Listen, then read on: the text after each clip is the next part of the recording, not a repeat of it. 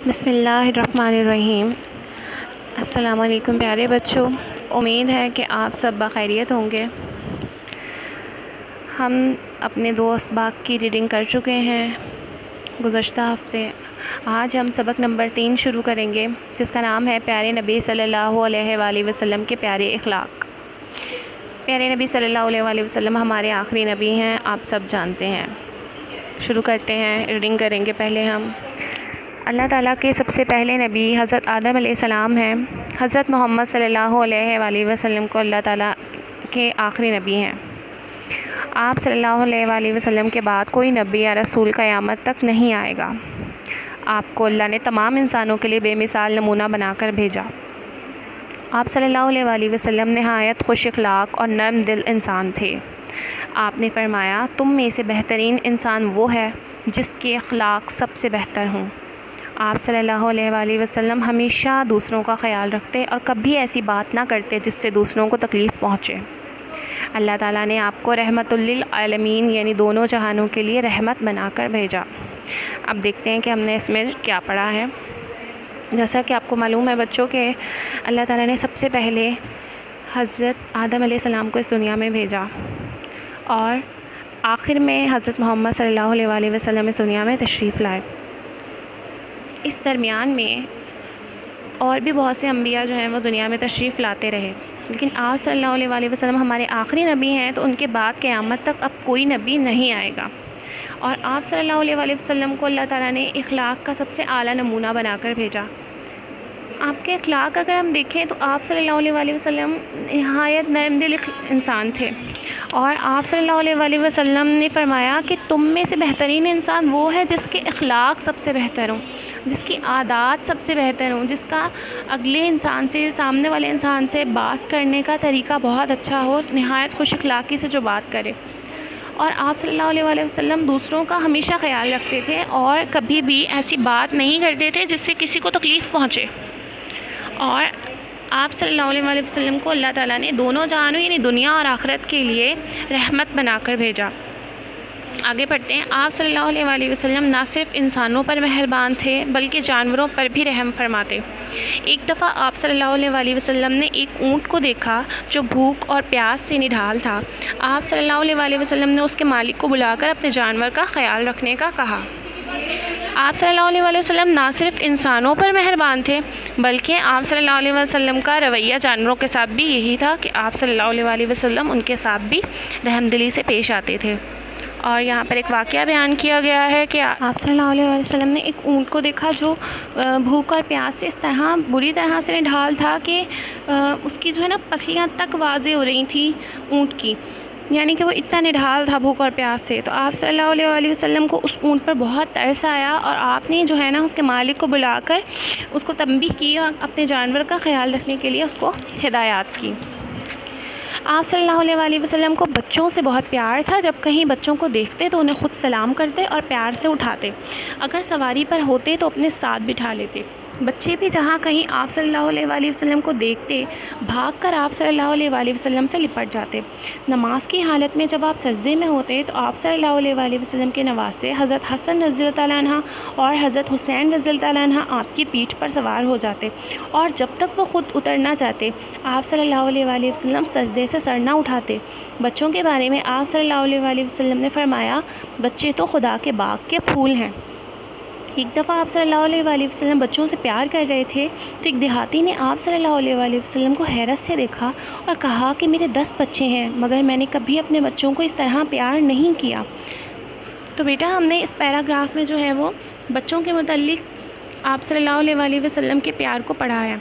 यानी कि आप सल्लल्लाहु अलैहि वसल्लम ना सिर्फ़ इंसानों, जानवरों, बल्कि बच्चों पर भी मेहरबान थे और बच्चों से बहुत प्यार किया करते थे। और जहाँ भी आप सल्लल्लाहु अलैहि वसल्लम रास्ते में अगर बच्चों को देखते तो उन्हें जो है वो अपने साथ सवारी पर बिठा लेते, उन्हें प्यार से उठाते। और अगर कोई खाने की चीज़ आप सल्लल्लाहु अलैहि वसल्लम के पास होती तो वो बच्चों में जो है वो तकसीम कर दिया करते थे। और अपने नवासों हज़रत हसन और हज़रत हुसैन, रज़ी तला से आपको नहायत ही प्यार था। यहाँ तक कि जब आप सल्लल्लाहु अलैहि वसल्लम हालत नमाज़ में होते तो हज़रत हुसैन और हज़रत हसन इज़्ज़त आपकी पीठ पर सवार हो जाते तो वो जब तक ख़ुद ना उतरते थे तो आप सल्लल्लाहु अलैहि वसल्लम उनको पीठ से नहीं उतारते थे और अपना सजदा जो है वो लंबा कर लेते थे। उनके प्यार और मोहब्बत की वजह से। और आप सल्लल्लाहु अलैहि वसल्लम ने फ़रमाया, बच्चों के मतलब कि बच्चे तो खुदा के बाग के फूल हैं। आगे पढ़ते हैं। आप सल्लल्लाहु अलैहि वसल्लम ने फरमाया, जो रहम नहीं करता, उस पर रहम नहीं किया जाता। आप सल्लल्लाहु अलैहि वसल्लम की ज़ात में ऐसी खूबियाँ थीं कि दोस्त तो दुश्मन, दोस्त तो दोस्त, दुश्मन भी आप सल्लल्लाहु अलैहि वसल्लम से मुतासर हो जाते थे। मक्के में एक बूढ़ी औरत रहती थी, वो इस्लाम की दुश्मन थी। वो रोज़ आप सल्लल्लाहु अलैहि वसल्लम पर कूड़ा फेंकती, लेकिन नबी करीम सल्लल्लाहु अलैहि वसल्लम ने कभी उसको बुरा भला नहीं कहा, ना कभी बदुआ दी। एक दिन यूँ हुआ कि नबी करीम सल्लल्लाहु अलैहि वसल्लम उस रास्ते से गुज़रे तो आप सल्लल्लाहु अलैहि वसल्लम पर किसी ने कूड़ा नहीं फेंका। आप सल्लल्लाहु अलैहि वसल्लम ने लोगों से उस बूढ़ी औरत के बारे में पूछा। लोगों ने बताया कि वो बीमार है और अपने घर में है। आप उसकी अयादत करने उसके घर गए। बूढ़ी औरत शदीद बुखार में तप रही थी। कमज़ोरी की वजह से उससे उठा भी नहीं जा रहा था। आप सल्लल्लाहु अलैहि वसल्लम को देखकर बूढ़ी औरत डर गई कि ज़रूर ये बदला लेने आए होंगे, लेकिन आप सल्लल्लाहु अलैहि वसल्लम ने उसका हाल पूछा, उसको खाना खिलाया, दवा के, दवा ला कर दी और घर में झाड़ू दिया। वो बूढ़ी औरत आप सल्लल्लाहु अलैहि के उसने सलूक से इस कदर खुश हुई कि उसने इस्लाम कबूल कर लिया। ये वसल्लम के उसने अखलाक का ही नतीजा था कि इतने मुख्तर से अरसे में अरब में तेज़ी से इस्लाम फैल गया। हमें भी चाहिए कि हम आप सल्लल्लाहु अलैहि वसल्लम की ज़िंदगी का मुताल करें और अपनी ज़िंदगियों को आप सल्लल्लाहु अलैहि वसल्लम के अखलाक के मुताबिक ढालने की कोशिश करें। तो बेटा देखें कि आप सल्लल्लाहु अलैहि वसल्लम के जो है ना वो इखलाक देखें आप कि आप की खूबियाँ ये थी कि दोस्त तो आप सल्लल्लाहु अलैहि वसल्लम के दोस्त, लेकिन जो दुश्मन थे वो भी आप सल्लल्लाहु अलैहि वसल्लम से मुतासर हुए बिना नहीं रह सके। और मक्के में जो बूढ़ी औरत रहती थी, इसका किस्सा हमने बचपन से ही सुना है, शुरू से ही सुना है कि वो इस्लाम की दुश्मन थी और रोज़ाना जो है ना वसल्लम का गुज़र होता तो वो आप के रास्ते में कूड़ा करकट फेंका करती थी। तो आप सल्लल्लाहु अलैहि वसल्लम ने उसको ना कभी बदुआ दी, ना झिड़का, कुछ भी नहीं। और एक बार जब उसने आप सल्लल्लाहु अलैहि वसल्लम पर कूड़ा करकट नहीं फेंका ना तो आप सल्लल्लाहु अलैहि वसल्लम को बहुत मतलब ना, परेशान से हुए और उन्होंने लोगों से मालूम किया और पता चला कि वो बीमार है और अपने घर में है। तो आप सल्लल्लाहु अलैहि वसल्लम जो है वो उनके घर गए उनकी अयादत के लिए। देखा तो वो बुखार में तप रही थी तो उन्हें जो है ना वो दवा ला कर दी उनके घर का झाड़ू दिया, सफ़ाई की, उनके घर की, उनकी अयादत की। और बुढ़िया ये समझ रही थी कि आप सल्लल्लाहु अलैहि वसल्लम जो है, वो उनसे बदला लेने आए लेकिन आप वसल्लम के इखलाक देखें रहम दिली का ये आलम देखें कि आप सल्लल्लाहु अलैहि वसल्लम ने जो है, वो उनके साथ कितना अच्छा सलूक किया, उनको खाना वगैरह भी आप सल्लल्लाहु अलैहि वसल्लम ने खिलाया। तो ये आप सल्लल्लाहु अलैहि वसल्लम के उसने अखलाक ही है। थे कि वो औरत जो है, वो इतनी खुश हुई आप सल्लल्लाहु अलैहि वसल्लम के अखलाक से कि उसने इस्लाम कबूल कर लिया। तो बेटा, ये आप वसल्लम के हसन अखलाक का ही नतीजा था कि बहुत कम वक्त में अरब में इस्लाम जो है वो तेज़ी से फैलना शुरू हो गया। तो हमें भी चाहिए कि हम आप सल्लल्लाहु अलैहि की ज़िंदगी के मुताबिक अपनी ज़िंदगी को ढालें।